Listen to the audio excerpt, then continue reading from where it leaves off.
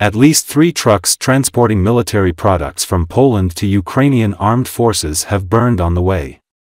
The trucks bound to Ukraine contained helmets, body armor and boxes with mortar charges for the Ukrainian armed forces, Russian media has reported. Residents of the surrounding villages of Alexandrovets and Murovets have said that the explosion in the trucks occurred over the course of two hours. Video footage of the fire and explosion has been published in social media. The firefighters were unable to promptly extinguish the fire due to the explosions of the ammunition. As a result, a large amount of military aid bound to Ukraine burned out completely. The sound of flying fragments and detonation can be clearly heard in the video.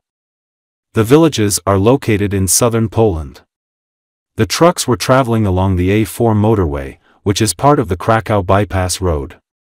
Nearby is the Krakow-Balice International Airport, which, in turn, is located next to the 8th Air Force Base of the Polish Air Force and jointly operates a runway. A missile attack was launched in the Rostov region of Russia. Local telegram channels reported on this.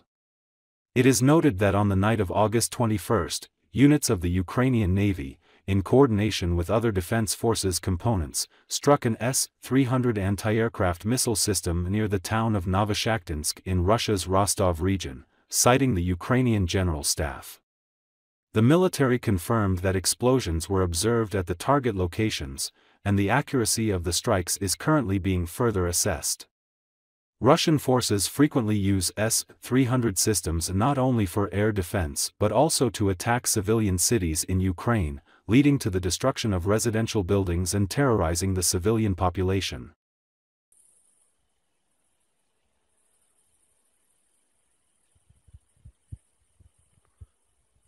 Жесть.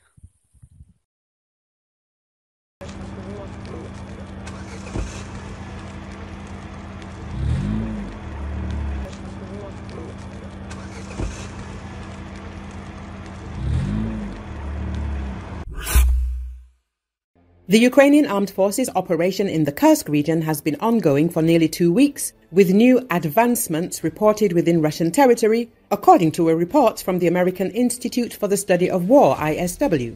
Geolocation footage shows Russian forces striking Ukrainian armored vehicles in northern Martinovka. This indicates that Ukrainian forces have recently advanced to this settlement. A Russian war correspondent reported that Ukrainian troops had captured Troitskoy and advanced to Semenovka. The Russian Ministry of Defense and Russian war correspondents have reported that Ukrainian forces conducted attacks. On the outskirts of Koronevo, southwest of Koronevo near Komarovka, east of Koronevo near Olgovka, northeast of Koronevo around Alexeyevsky, Safanovka, Kromskie Biki, Korchuk, and Sheptukovka, north of Sudza in the areas of Cherkaskoy, Porechnoy, and Ruskoy Porechnoy, southeast of Sudza in the area of Ozerka, Giri, and Boki. Additionally, according to geolocation footage from July the 17th and 18th, Ukrainian forces continue operations across the full extent of their declared advance in the Kursk region. In this case, Russia has deployed the so called Space Brigade to defend the Kursk region. The soldiers have been reclassified as motorized infantry due to a shortage of personnel, according to important stories. The publication, citing sources, notes that a motorized rifle regiment composed of personnel from the Russian Aerospace Forces was formed in May to June for border protection. The so called Space Brigade arrived in the border areas a few weeks before the Ukrainian breakthrough in mid July. The unit included soldiers from security companies, engineers, mechanics, and a few officers from the flight crews. They were transferred to infantry from airfields in Ukrainska in Altai Krai, Belaya in Irkutsk region, and Engels in Saratov region.